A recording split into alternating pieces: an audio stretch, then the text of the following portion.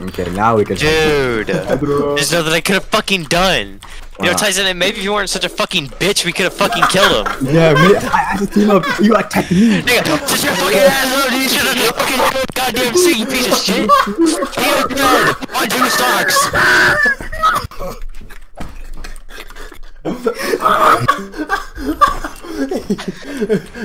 Did you disconnect?